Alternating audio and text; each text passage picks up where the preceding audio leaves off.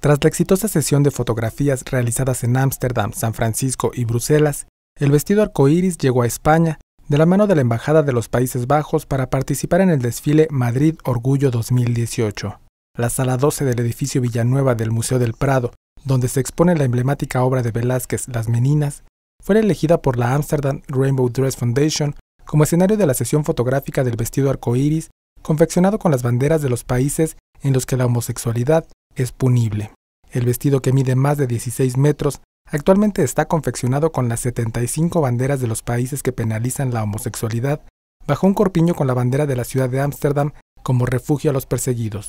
Como una obra de arte viva, si alguno de los países representados en el vestido despenaliza la homosexualidad, su bandera es sustituida por la del arco iris, como ocurrió con Belice.